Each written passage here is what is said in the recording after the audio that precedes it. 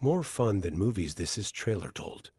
a YouTube channel in the world. Thank you for clicking. Check out the playlist for a different video. Subscriptions are a big boost.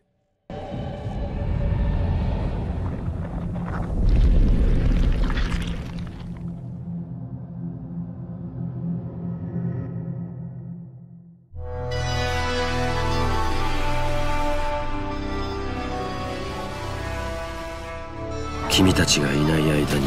東京でも新たな異変が発生したのだ。人知を超えた犯罪だ。君たちにも調査を頼めないだろうか。どうやら東京と魔界を行き来している様子。まだわからないことだらけだこの地はあまりにも危険が多い。危ない。一体君は？そんなことより構えて見つけたぞ。復活の鍵を真に正しき世界とはいかにあるべきか。お前はそれを知らねばならぬ相手は悪魔だと。ヒーローにでもなったつもりか。どうしてこんなことをするのか決まっているだろう。なすべきことをなしなるべきものとなれあなたさえいなければお兄ちゃんがこんな争いに巻き込まれることはなかった。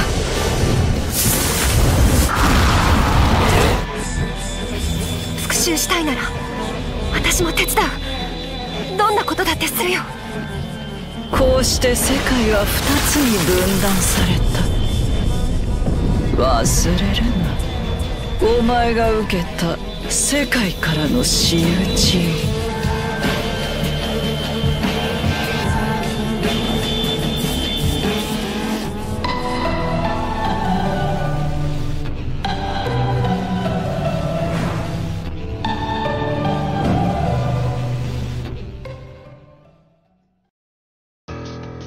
皆さんこんにちは。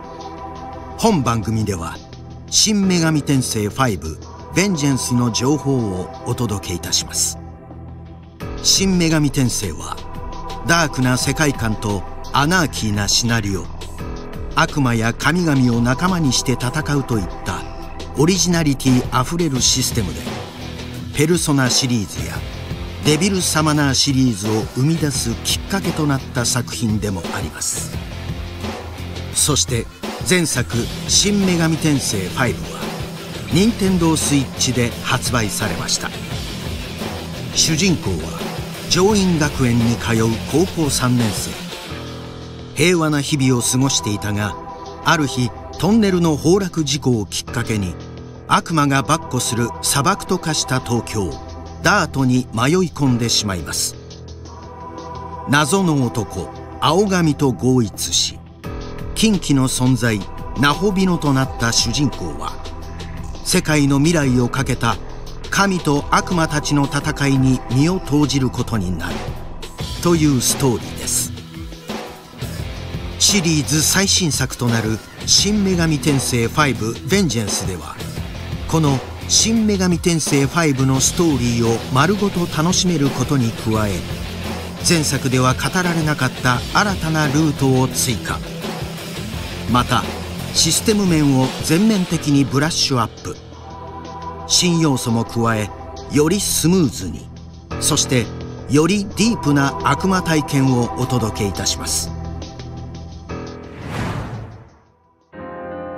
新女神転生5ベンジェンスで楽しめる2つのルートについて説明しましょう。ベンジェンスではゲームスタート直後に選択を迫られます。片方は「新女神転生5」で語られたストーリー「創世の女神編」そして新ルート「復讐の女神編」は「新女神転生5」のシナリオを踏襲しつつ中盤以降が大きく変化。2つのルートで最終的に全く異なる結末を用意しました。復讐の女神編では4体のジョマカディシュトゥが主人公の前に現れます。リリスはカディシュトゥのリーダー。とある目的があるようですが本作のデザイナー土井正幸による新規デザインにも注目です。そしてもう一人ダートをさまよう主人公は陽子と名乗る少女と出会い行動を共にします。人間を襲い混沌の世界を作らんとする悪魔たち。そして神の秩序を守らんとする天使の組織ベテル。対立するこれらの争いに巻き込まれた主人公はダートを探索中広峰陽子と出会い行動を共にすることに。復讐の女神たちカディシュトゥそして広峰陽子。新ルートではどのようなストーリーが展開するのでしょうか？新女神転生5ベンジェンスのゲームシステムについて説明しましょう。まずは本作の舞台となる荒廃したもう一つの東京ダート。ダートにはさまざまな悪魔が跋扈しておりプレイヤーの行く手を塞ぎます。そして本作では新ダートや新ダンジョンの追加。その他遊びを拡大する新要素をダート探索に盛り込みました。さらに新規クエストも大量に追加し攻略の幅が広がるようにしています。より自由性が上がり濃厚になったダート探索をお楽しみに。バトルシステムはシリーズでおなじみのプレスターンバトルを採用しています。プレスターンバトルは基本的にターン制のバトルです。敵の弱点を突くことで味方の行動回数が増え有利に戦うことができるのが特徴です。弱点を意識して戦いを進めることが重要になります。さらに本作では悪魔たちの個性をより輝かせるために全ての仲間にユニークスキルを実装しました。そしてこの他にも戦略性の増す追加要素も用意しました。こちらについては続報をお待ちください。追加要素により全ての悪魔が存分に活躍できるようにしました。今まで使っていなかった仲間たちもぜひパーティーに入れてみてください。新女神転生シリーズの特徴ともいえる悪魔。今回は悪魔についても掘り下げてご紹介します。ダートを闊歩する悪魔たち。襲いかかってくる悪魔も会話をすることで味方の悪魔仲間にすることができます。悪魔はそれぞれ性格や好みが異なり一筋縄ではいかない悪魔ばかりなのでいろいろと会話を楽しんでみてください。そして仲間になった悪魔同士を合体させて新たな仲間を生み出すことも。おっと先ほど登場した悪魔は本作でシリーズ初の登場となったナホビホです。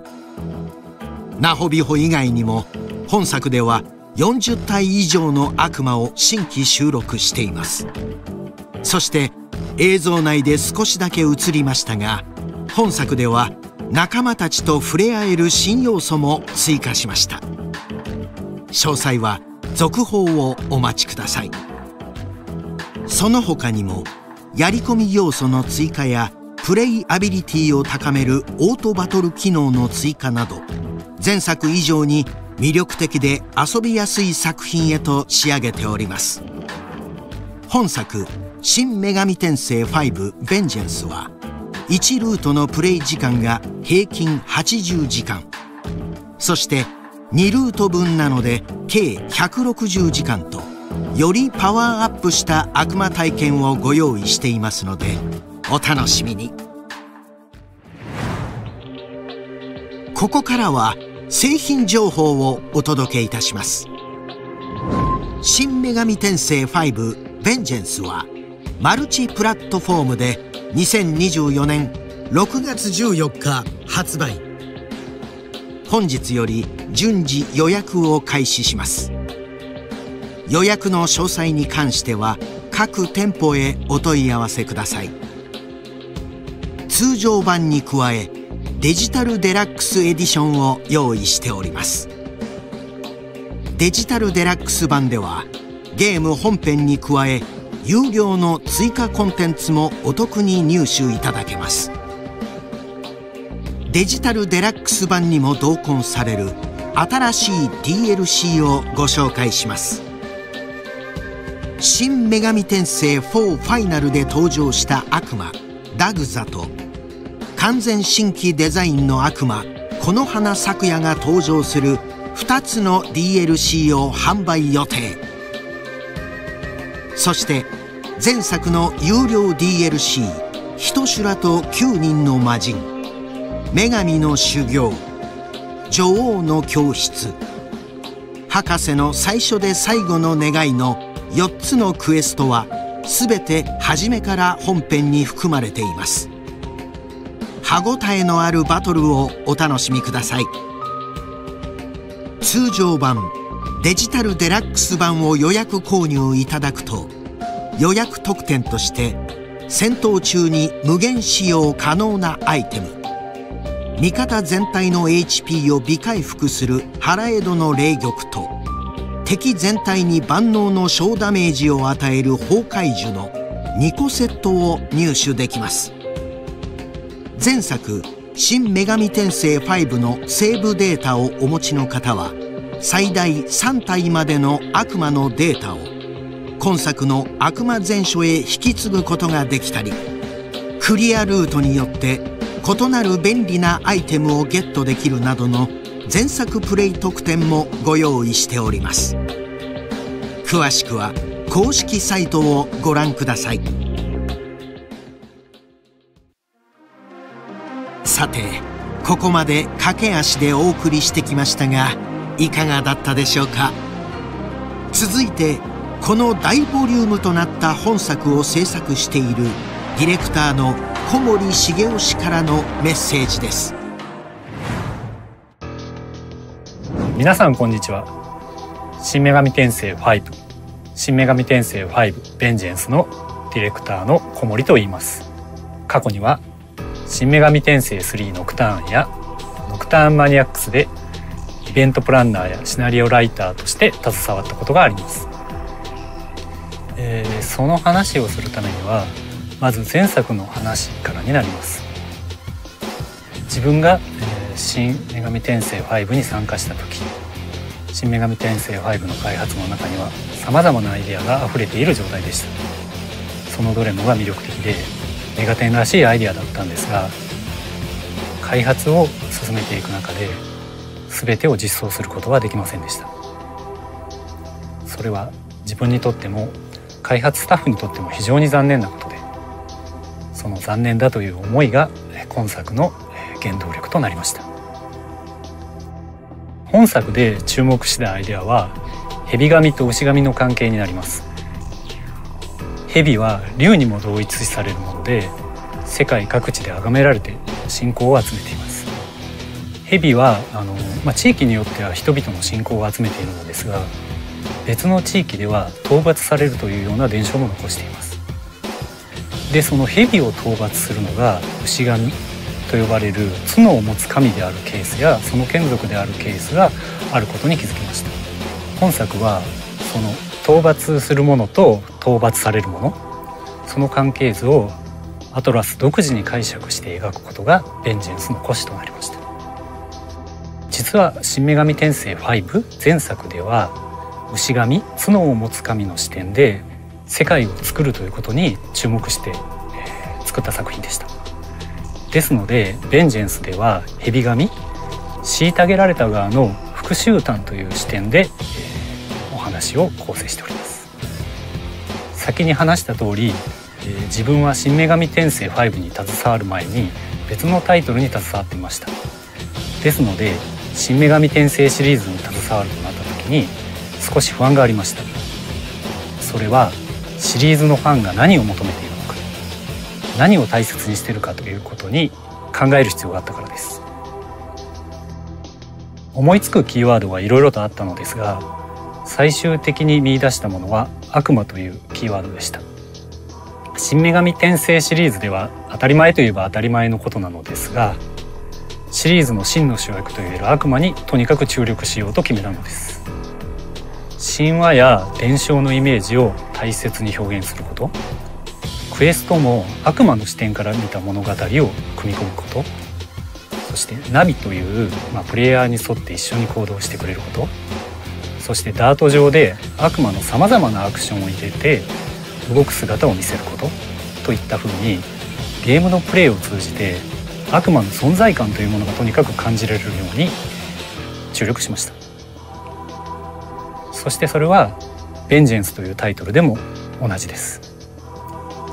悪魔を増やしクエストでも新しい要素を増やしナビを増やしそして、えー、まだちょっと詳細は語れないのですが仲間と触れ合うという新しい遊びを組み込みましたので、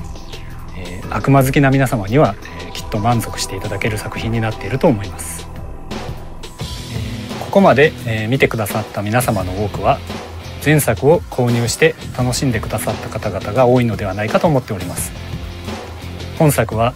前作をプレイした方々にも楽しんでもらえるようさまざまなアイデアを詰め込んでおりますのでご期待ください。そして前作を遊んでいないにもかかわらずこの番組を見てくださった方々「新女神転生5ベンジェンス」は歯ごたえのある RPG として自信を持っておすすめできるタイトルになっておりますので引き続き情報にご期待ください。本日はありがとうございました。本作はメガテンシリーズを遊んだことがない方はもちろん前作を遊んだ方もお楽しみいただけるよう紹介したもの以外にも細かい調整を行っております。ここからは申請した「新女神転生5ベンジェンス」での調整箇所の一部をご覧ください。